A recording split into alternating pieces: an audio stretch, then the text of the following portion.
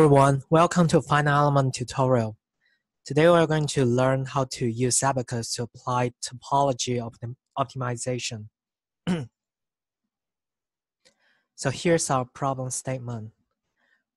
This is a just a plate with three holes of diameter 5 millimeters and the dimensions is listed here. This is 2 millimeter plate in thickness uh, so we can consider that as a plane stress problem, 2D problem. There's a force applied here with an angle of tangent equals to 3, and the value for that is 500 newtons. And our goal for this problem is to find the optimized geometry so that we can minimize the strain energy of the plate and subject to the reduced volume. subjected to the reduced uh, the reduced volume is greater than 60%. That means the remaining volume is smaller than 40%. So let's see how do we do that in Abaqus. Create a part. So this is 30 plus 30 plus 15 which is uh, 75 in thickness. So we can make it uh, about 100 here.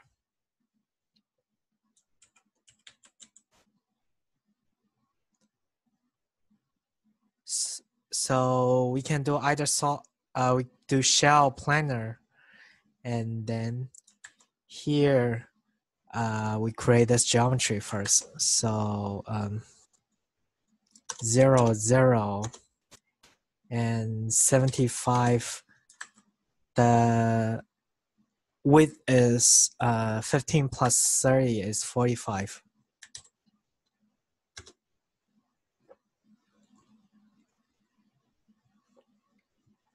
Now let's create a hole. Use the cut extrude and select the this right length.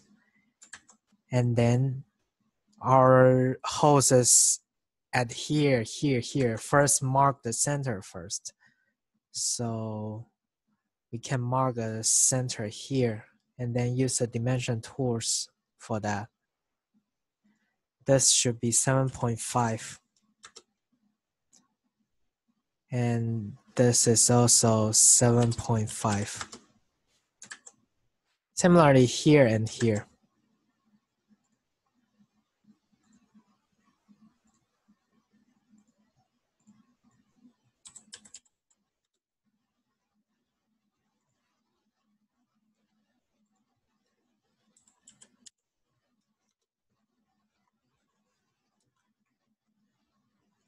And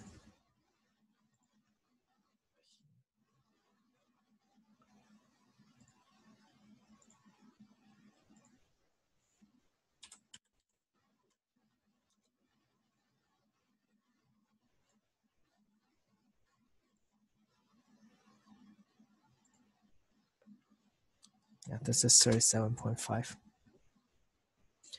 And now draw the circle. Let's uh, draw the circle, all pointing downward, all pointing to the right.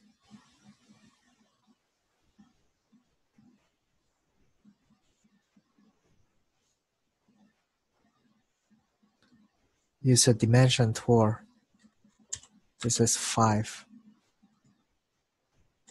5. Five.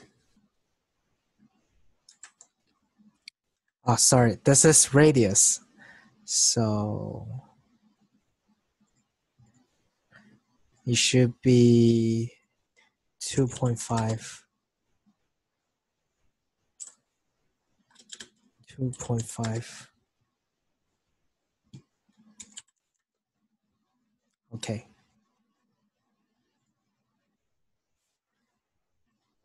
Now let's go to a property.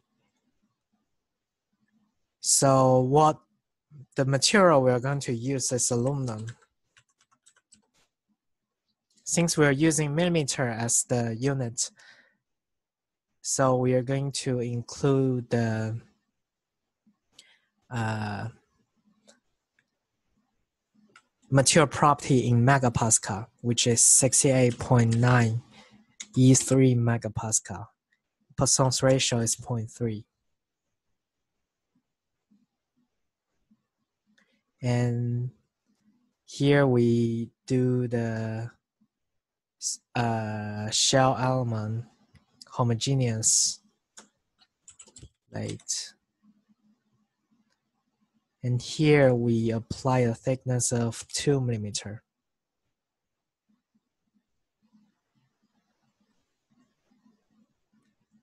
And uh, then we assign the material.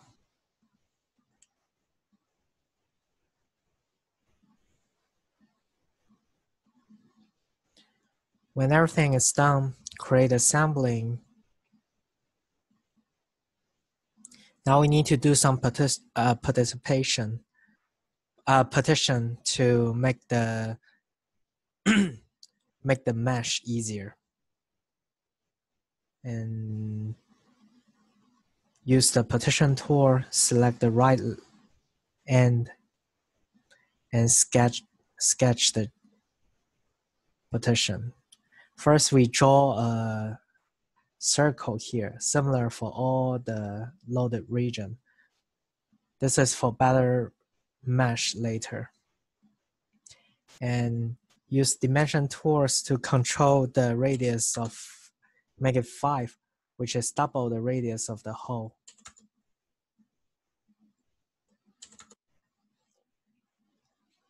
Then we draw a rectangle here and use the dimension tools to control that in 15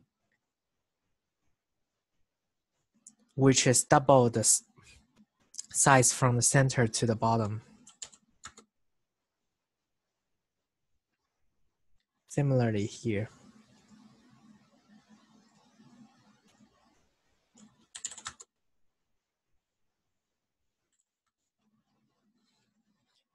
and here.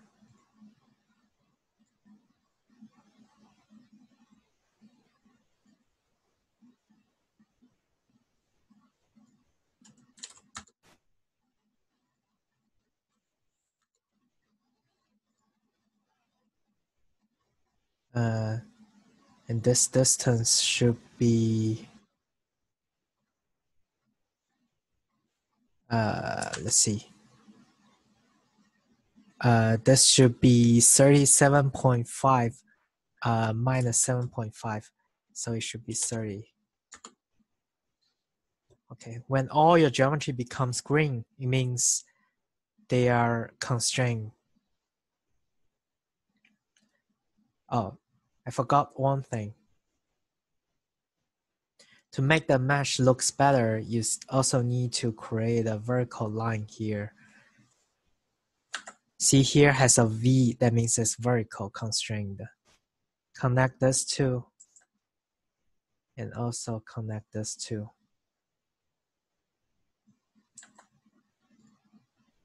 Also here. This two, this three should be horizontal. By doing that, we make all the region like a rectangle, so it will be late, better matched later. Then we create a reference point here. We are going to apply load on this reference point. So we use create a couple. And we are going to fix all the degrees of freedom. Select surface and select the inner circle, which representing the bolt hole. So use kinematic constraint everything. And now we can apply the load. Oh, sorry, I forgot to create a, st a step. So create a step, just static analysis. So in the load, create a load now, concentrated force. Select the reference point and here we create a local coordinate called local coordinate, which is following this coordinate, 1, 3. So your x origin, select this as your origin, and then select the point on your x-axis should be 1, 3, 0. And uh, uh, and then uh, uh, sorry about that. That's actually wrong. So the origin let's do zero zero. And then the uh the x-axis can be one three zero. And now you can see this is pointing to your force direction. And then just randomly en enter anything. For example uh zero one zero now you have your local coordinate here. Select the local coordinate and in your x1 we enter 500 Newton and the other direction is zero. You can see your force is pointing to the correct direction. And now we create a boundary condition your initial call it pin. So those two holes are pinned. And select the region, hold shift and select the other one. Use pin.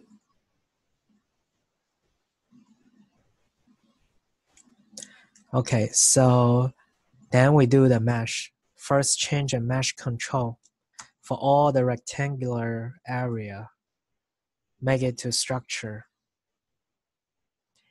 and change the circular area, make it to uh, just leave it free. And, oh, sorry. So you cannot change the region near the hole now let's assign global size. So for optimization problem, we need to make it as fine as possible. Let's do 0.1. That may be a little bit too fine. Let's do 0.2 then. Now we can mesh.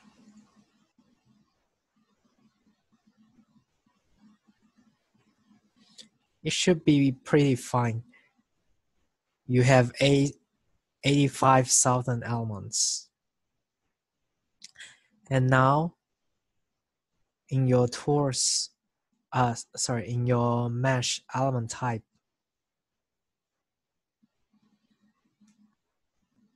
uh, we have shell element reduce integration. So uh, this is our element type. Now, we before doing optimization, let's run the problem and see what do we get.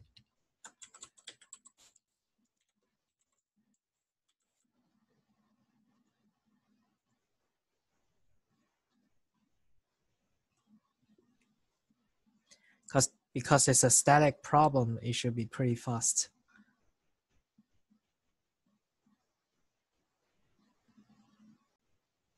Okay.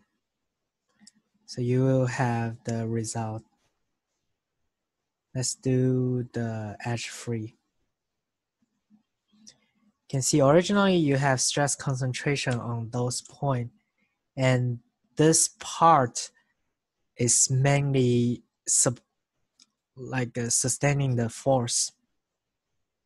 But however, this part doesn't contains that much stress. But you can see that, for example, this corner and this corner are something we actually don't need. And we want to reduce the, and those blue things are something we want to eliminate. Those are useless to this kind of loading condition. That's why we do the optimization of the structure. So to do that, go to your optimization and create optimization task. And we select the topology of the optimization.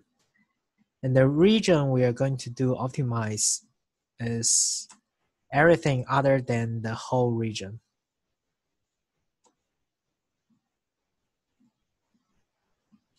And we can freeze the, um, this too, um, you can select, uh, I was I will leave those circular region fixed. That means when you're doing topology analysis, those circular region will be will not be considered into your optimization problem.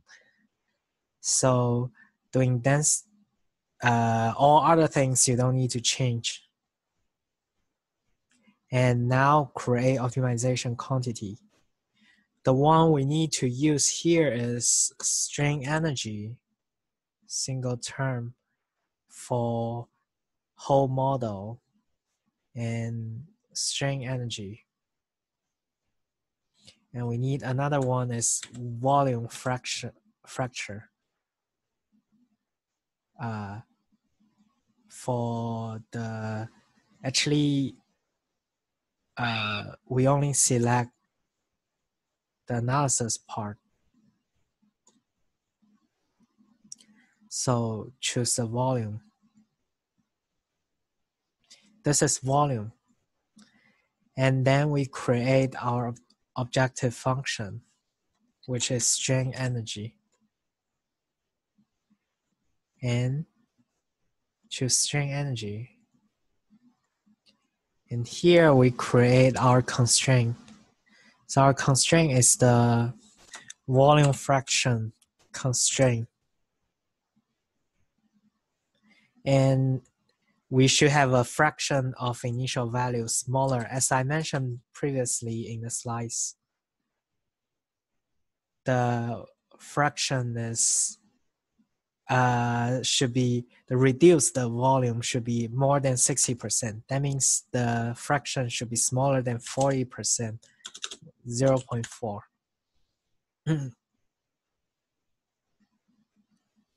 and here we create the geometry restriction. So we need some frozen area. Uh, call it, just call it fixed area, which are those small circles around the hole. Those are something we want to fix it, not include into optimization problem. Now, in your job, in the optimization process, create the process here. And everything just leave it there. And you can choose to save the data every cycles. Let's say every uh, 10 cycles. And definitely we need the last one. And maximum cycles, normally 50 is enough. So let's submit.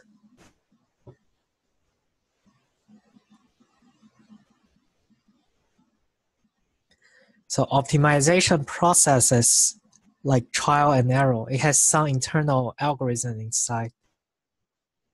Abaqus can actually show the process.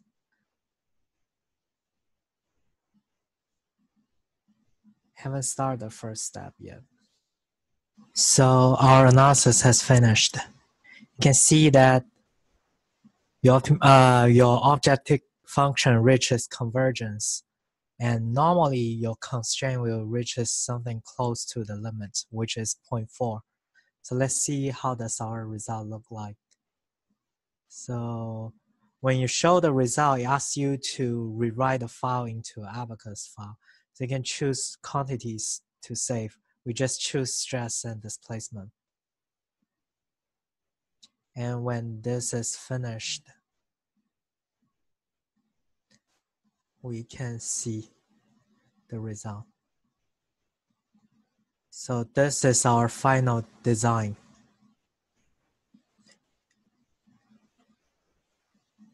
And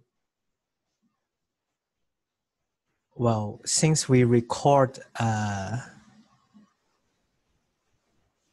we only left the last one. So this is our, this is the optimize, optimize the result. So you can see that all this part, this corner part and this part are removed and the rest is containing all the stresses. And here is thicker than here is thicker than this one. Since our force is mainly pointing towards the right hand side, that's why this part supports more load than this part.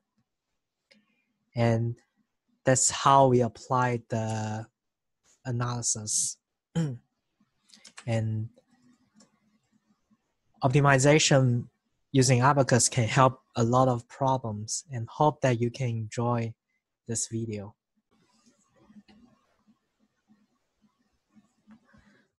Now let's see how to set up the optimization problem. So let's create a project, topology optimization.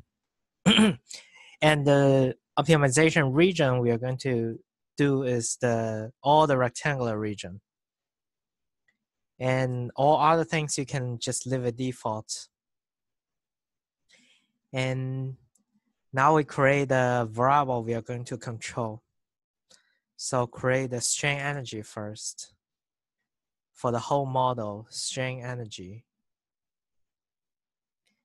And create a volume for the whole uh, the volume we cares are just the rectangular regions. So hold shift, select all of that, and then save volume. And then objective function here and create. As we mentioned before, strain energy. Make sure this is the minimum design response uh, response value. And the constraint, as we say before, is the volume fraction. Choose the volume and a fraction of initial value, choose 40%. 40%. Now we constrain the frozen area. The frozen area is all this rectangular region. So those are not included into the optimization. Now we can go to the job and here optimization process and then create the job. I already did it. So let's see the result. when you try to see the result, you need to convert it into Abaqus file first. So we ask you something. I already did it, so you can see the result now. The original result is like this. It may take uh, take some time, but it will end up with this one. Since the load is pointing to the right hand side, so the left hand, this bar is containing most of the stress uh, strain energy. I can see this optimal design is not doesn't does not look it's not the best design. The shape is kind of weird here. So the reason for that is although this uh, minimizes the strain energy inside the structure, but your volume is not. If you see your job here, monitor, and then you can see the plot here. And this plot is showing your of, of the uh, objective function versus the constraint. So you can see your constraint reaches almost the limit we set 0.4, while your objective function reaches minimum. But uh, we want something that the volume is smaller while we can sacrifice some of the objective function. That's why we change our objective function to instead of only the strain energy, we here include a volume here and change since the volume is way smaller than the strain energy, so we include a 10 in weight than the strain energy. See whether it works good or not. Besides, if you only do that, it may goes to some crazy value since you haven't set a limit for your strain energy. So we need another constraint, which for the strain energy, which should be dropped to lower than 50% of the initial value so that it won't blows up. Okay, when everything is done, we can go to the job and here we create another optimization process. And I already did it, so you don't need to wait for that. And if you see the monitor, this is the result. You can see that the volume, which is the blue curve here, reaches the optimized point which we had previously, and then it, it decreased a lot this time because we set the objective function include the volume of it. And then uh, now if you want to see the result, see it pop up a window asking you to com combine that into the uh, MATLAB result, we can select stress displacement here, and then it will convert into Abaqus file. And then we can see the result this time. So in this time, you can see that it looks way smaller than previous result. And and you can see that you can even make it smaller by setting the constraint smaller and making or making the volume uh, let me go back here. You can even make this uh, design better by making the volume weight larger or setting this constraint which is 40% now. We can make it smaller like 10% or something. So that's it about the optimization problem. Hope that you can learn something from uh, about how to use Abaqus to, to do topology analysis optimization here. And thanks for listening to this video.